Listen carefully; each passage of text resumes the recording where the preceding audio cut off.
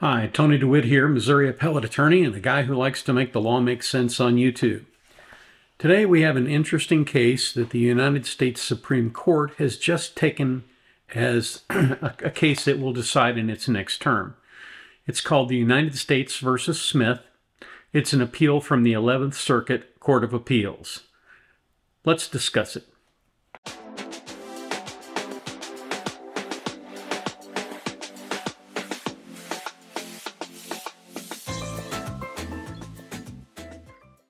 So, the way it works when you appeal to the Supreme Court, you file what's called a petition for a writ of certiorari. And a writ of certiorari is a writ that is directed to the 11th Circuit in this case, saying, send up the record. And then the court reviews that record and usually issues an opinion. Well, you don't get that as a matter of right. The Supreme Court has to decide to take the case. And you get there by a petition for the writ. And of course, the opposing party, whether it's a civil matter, uh, the defendant or the plaintiff, they get a right to respond. And of course, if it's the government, the government gets a right to respond. So today we're going to talk about this U.S. versus Smith case. The petitioner in this case, Timothy Smith, says this is the issue. Whether the proper remedy for the government's failure to prove venue is an acquittal barring reprosecution of the offense as the Fifth and Eighth Circuits have held, or whether, instead, the government may retry the defendant for the same offense in a different venue as the Sixth, Ninth, Tenth, and Eleventh Circuits have held. That raises the issue of what is venue. We've probably all seen in some location somewhere a recitation of the word venue, and for example, You'll see it used to describe uh, concert halls. They held this in a big venue. But venue in the court system essentially means the place where the case is tried, and it has to be indexed to, in a criminal case, to where the offense was committed. So when they look at that, they look at where did the acts giving rise to the cause of action occur. And then each of those things has to be proved by a preponderance of the evidence, and in some cases, depending on um, the circuit precedent, maybe even to beyond a reasonable doubt, has to be proved. Uh, and then, if for any reason the venue is improper, the person can't be tried there.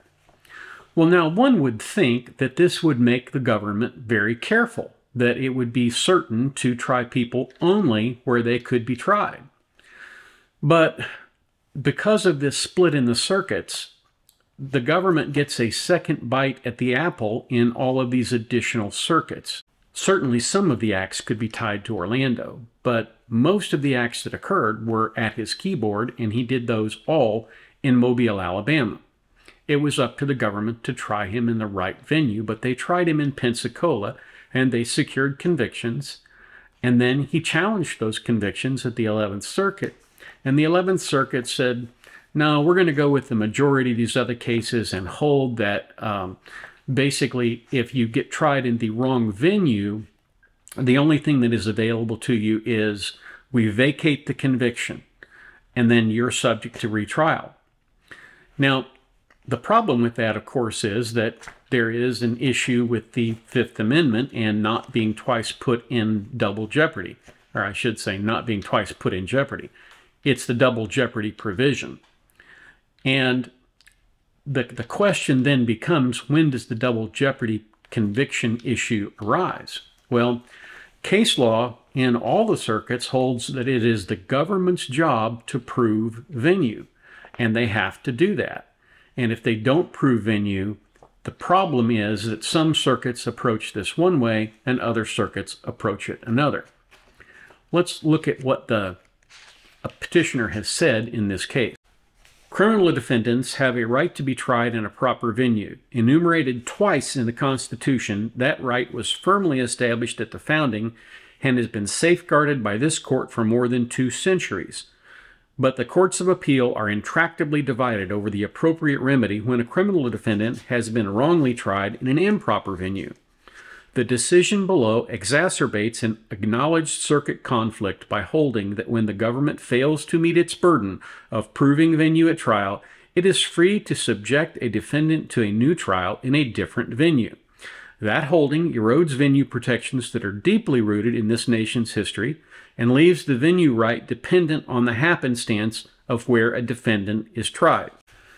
So, with those words, the petitioner says, Look, Supreme Court, you, you've got to resolve this circuit split. And then it tells them why it thinks it's important. The Magna Carta provided for certain protections with regard to where somebody could be tried. And unfortunately, as the petitioner indicates, this was not always honored. Prior to the American Revolution, the British strayed from this long standing principle by threatening to force American colonists to stand trial in England. In 1769, Parliament responded to unrest in Massachusetts by decreeing that colonists charged with treason could be tried in England.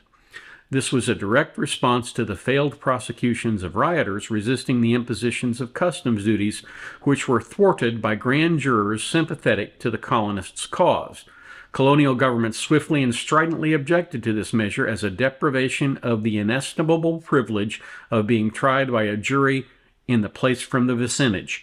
So the colonists objected, but the government of England still believed that they could prosecute these people in spite of what the Magna Carta said.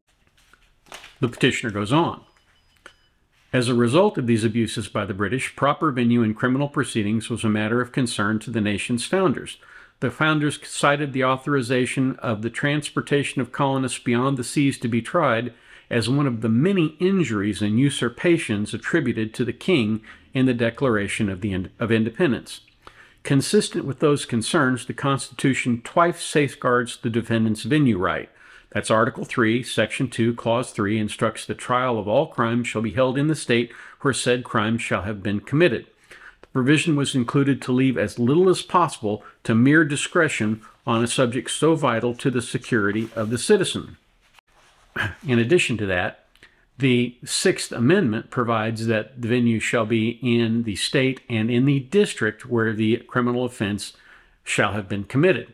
So, in a state like Alabama, where we have a northern, middle, and southern district of Alabama, it would have to, the trial would have to have been in the southern district of Alabama. Now, you may be wondering why venue was so important. Drawing on the history, the petitioner said this this results in grave inequities in the application of a constitutional right of first order importance. Great Britain's abuse of the venue rights of American colonists made venue a matter of concern. Federalists and Anti Federalists alike recognized that venue right was vital to the security of the citizen because it acted as a bulwark against governmental abuse and the hardship of being made to stand trial in a remote location. But today, Criminal defendants who suffer the same violation of this right receive markedly different remedies depending on which circuit they are tried in. While some defendants will go free, others will be retried, perhaps multiple times, and punished, which is ultimately no remedy at all. So let's look at a potential scenario here. Uh, imagine that a defendant lives in Newark, New Jersey. Now, Newark, New Jersey is all the way on the east coast of the country. And uh, as a result, it's quite a distance from Twitter's headquarters in California. But let's suppose that Twitter discovers a hack in its systems and they identify the node and MAC address of the computer where this is taking place. And it's in, uh oh, Newark, New Jersey.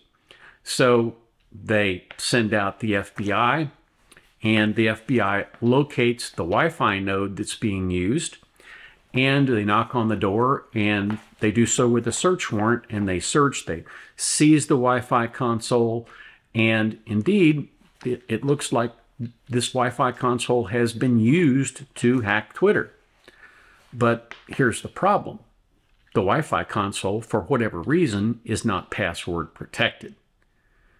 And the defendant that they charge is charged in California, and he's transported there for trial by the U.S. Marshals.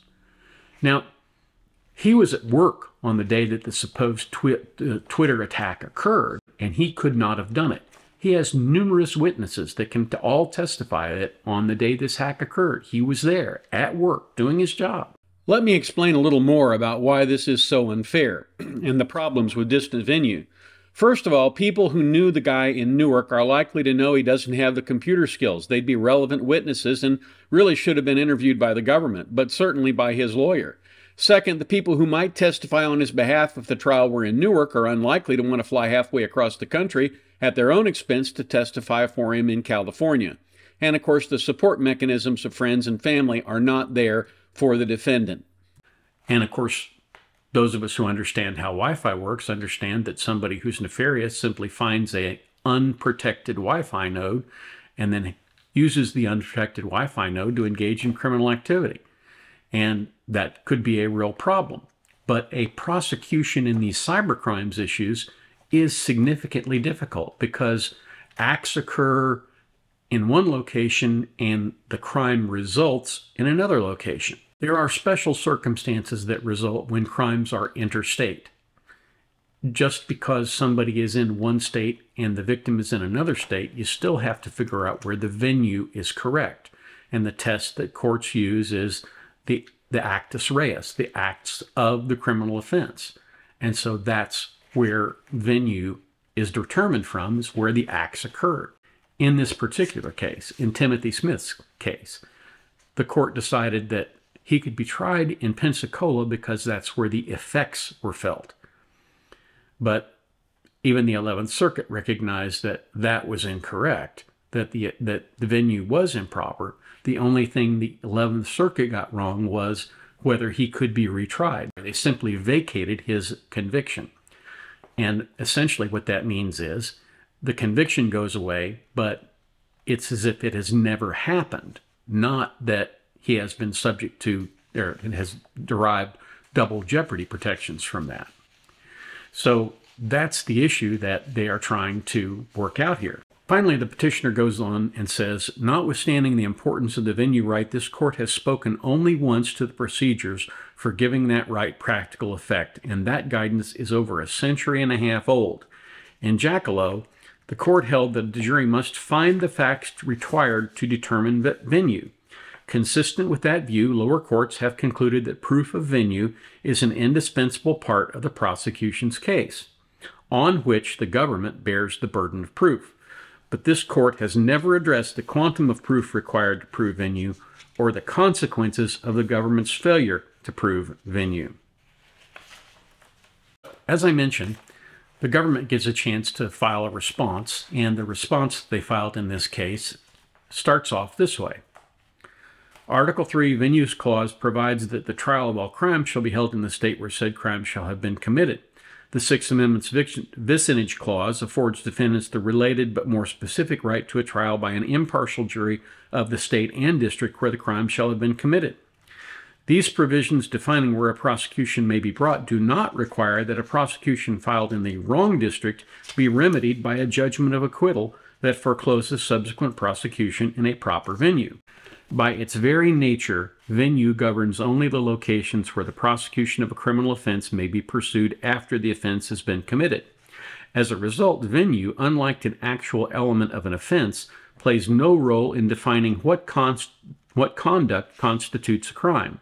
The Court of Appeals have thus concluded that and consistently recognized that venue is not an element of an offense akin to that to define crime.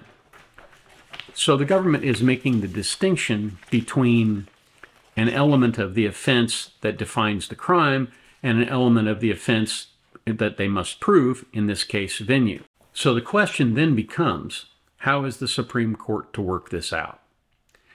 It will be interesting, to say the least, to see how this works out. I believe that uh, the more conservative justices will side with the government and I believe the more liberal justices will probably side with the defendant. I think, however, in order to give the venue right the protection that it deserves under the Constitution, that you pretty much have to determine that if the government makes the effort to try a case in the wrong venue, knowing that they're in the wrong venue, because the acts didn't occur there, then they should be held and bound by the result of that trial.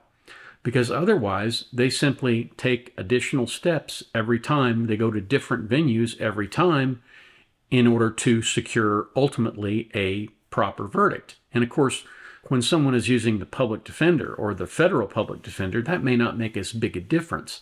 But when somebody is paying for their own defense, if you're trying to defend a trial three or four times, you can very easily be up over half a million dollars in legal fees by the time you get to the third trial. So these are the kinds of issues that one would think the Supreme Court would take into consideration when ruling on this case. I don't have any idea how this is going to come out. Initially, when I read the petition and realized that they had taken the case, I thought perhaps they were going to resolve the split between the circuits in favor of the petitioner. But as I've read the govern- government's brief in this case, I am not so sure that that will happen. There have been a lot of uh, amicus briefs that have been filed in the case, and all of those have an opinion, and all of those elucidate more facts and more arguments. We'll just have to see how the Supreme Court resolves this issue. So if you have any questions, please leave them in the comments down below. Otherwise, thank you so much for watching and have a terrific day.